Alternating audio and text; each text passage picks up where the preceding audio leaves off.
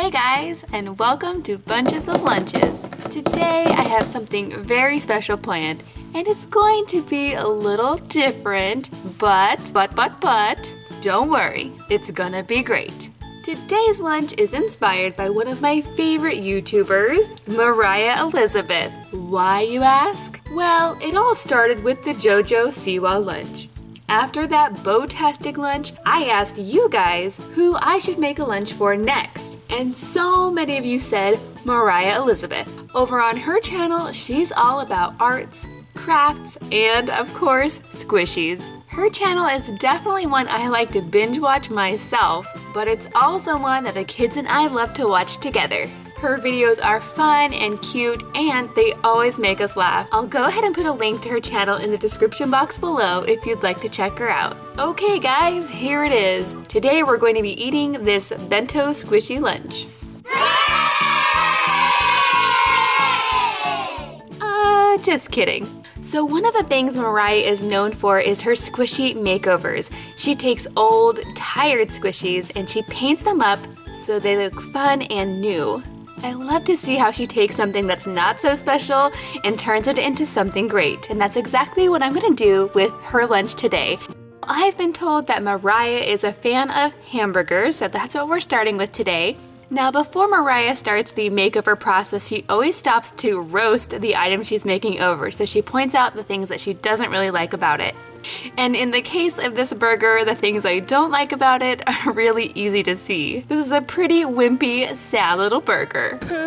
There's barely any meat, it's pretty dry. And what is this? Onions? Yeah, no. We can do better than this.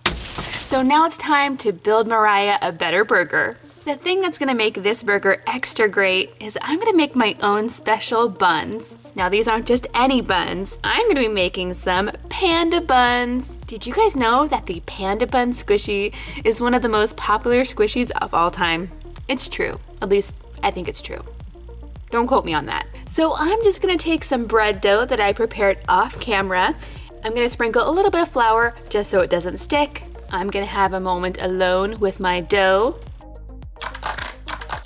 Wait a minute, this is not that kind of video. Now I'm gonna be making several extra buns here because who just makes one bun? I don't know, not me. And I'm gonna make these on the smaller side so it's almost like a burger slider. So I'm just going to pinch off the dough, try to smooth it out as best I can. And then to make these into panda buns, I'm gonna try it two different ways because I'm not sure which is going to work best. For my first try, I'm gonna add two smaller pieces of dough. I'm not sure if this is gonna work. Oh, oh man, now he's a member of the missing ear squad. These ears just do not want to stick. I'm gonna try adding a little bit of water to see if that helps the dough stick better. And yeah, it's not the best, but it's okay. So I'm gonna go ahead and add these smaller dough pieces to just three of my buns. And the other three, I'm gonna try something different. And after about 10 minutes in the oven, the bread is ready. But as you can see, this did not work at all. These are not pretty. This guy lost an ear altogether. And then this guy also had a blowout. Not one of these rolls came out perfectly round. So that means it's time for plan B. So to make our bun into a panda bun, I'm going to use my black Food Writer pens. So this is Food Safe ink. You can find these at Target and Walmart. So I'm just going to proceed to draw a panda face on my bread as best I can. Wait a minute. I do not know what's up with this guy's head. And now it's time for our panda friend to prep for surgery.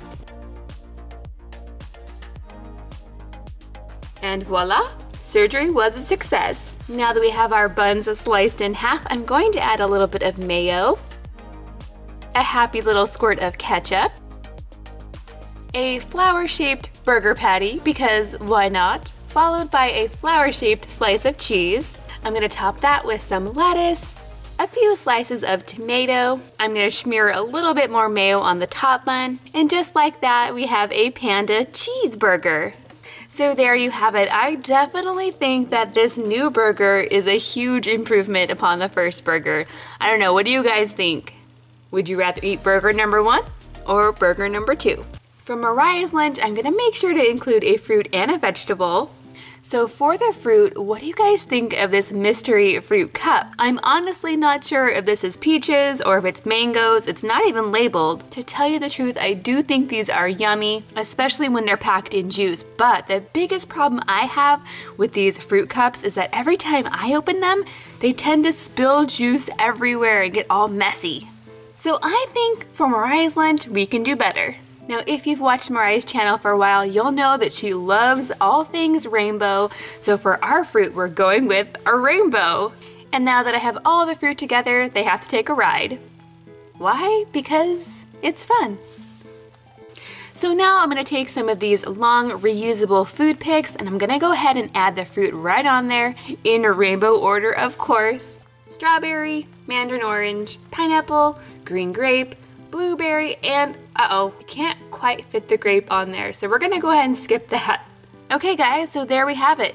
We have a mystery fruit cup on this side, and on the other side, rainbow fruit on a stick. Both pretty good options, I'd say, but I'm guessing Moriah would like the rainbow one better. Next up is the yogurt. You guys know I love putting yogurt in lunches, so option number one is this plain vanilla yogurt. Now don't get me wrong, I'm a big fan of this yogurt. I personally love vanilla. Let me know in the comments down below what your favorite yogurt flavor is, but I'd have to say this is kind of plain. It's not very exciting, not very colorful, and there's a big lack of sprinkles. It's time for this yogurt to have a transformation. Instead of this yogurt just looking like yogurt, I'm gonna make this yogurt look like it's a milkshake instead. And you know what? This yogurt actually looks a lot like the paint that she uses to paint her squishies. So now I'm gonna take this yogurt and put it into a plastic cup this one has a lid, so it's perfect for a lunch. And then to make this look like a milkshake, I'm gonna go ahead and squirt a little bit of whipped cream right on the top. And then I don't know about you, but I love sprinkles on just about everything. And so does Moriah. In fact, she has a special sprinkle song.